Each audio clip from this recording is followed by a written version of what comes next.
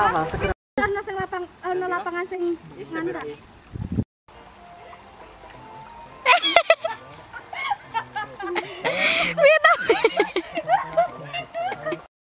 Iki up.